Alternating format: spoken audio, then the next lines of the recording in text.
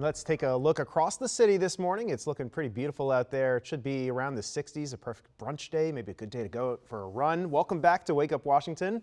Let's check in with Mary Marshall now to see how our Sunday forecast is shaping up. Well, we're following a developing story this morning out of Frederick County in Maryland. One man is dead after being shot by Frederick police last night. It happened just after 6 on Northeast Street, not far from yesterday's deadly tanker truck crash. Frederick police say officers went to an apartment building to execute a warrant for a parole violation. They found the man in a closet and he was armed with a knife. Police say when the man ignored officers' commands to drop that knife, they shot him. The Maryland State's Attorney's Office and Maryland State Police are conducting an investigation into the circumstances surrounding this shooting. To D.C. now, so far this year, nearly 380 crimes in the district have involved guns. Yesterday, D.C. council members, community activists, and concerned citizens came together for day two of a three-day roundtable on how to curb this gun violence. The roundtable is being hosted by Councilmember Brooke Pinto. On Friday, public witnesses testified virtually. Participants say there's no single solution for solving the problem, but say how police interact with the community definitely plays a part in the solution. So to have the police show up to be like, we need more police to get the guns off the street. You take the gun off that street, it's gonna be another gun on the street. That you can't police your way out of gun violence. You have to think about what that looks like. It's almost like a foreign entity coming in and telling you how to live your life. That's a that's a recipe for disaster. A lot of passion in that room. The three-day gun violence roundtable wraps up tomorrow with government witnesses speaking to participants at 11 a.m. at the John Wilson Building in Northwest D.C. Well, we're learning more tonight about the death of a passenger on board a business jet headed to Leesburg, Virginia, when the aircraft encountered severe turbulence. The National Transportation Safety Board says the man was one of three passengers on board the Bombardier jet that took off late Friday afternoon from New Hampshire when the jet hit turbulence over Connecticut. The NTSB is interviewing the jet's two crew members and two surviving passengers to determine what happened.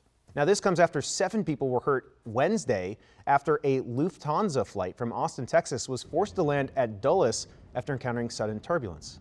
We're seeing a new disturbing drug showing up in Maryland. Some people are calling it the zombie drug because of the sometimes gruesome side effects. Experts say it's making the fight against opioids even more challenging. Casey Nolan has new details on why this drug is so dangerous.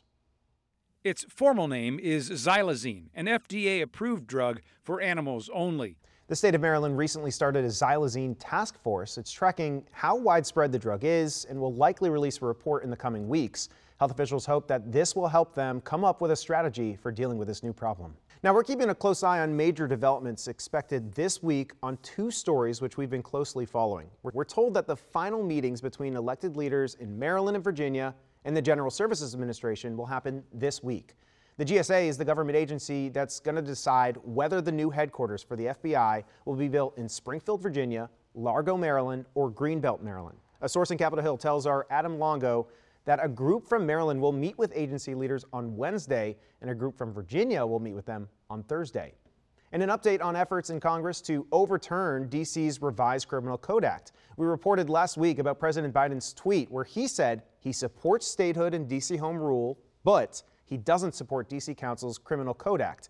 And when the Senate likely passes a resolution of disapproval, Biden says he'll sign that resolution, essentially killing the D.C. Criminal Code Act. A source tells Adam that Senate discussion is likely to happen on Wednesday, with the vote soon afterwards. Well, today is Alec Murdaugh's second full day of serving two life sentences for killing his wife and son. But his legal troubles are far from over. Nikki Battiste has more on what's next for the disgraced former attorney, now convicted killer.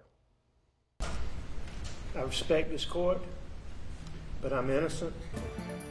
Well, we're counting down to peak bloom of our cherry blossom trees, and coming up, we'll verify a question that many of you have about these trees.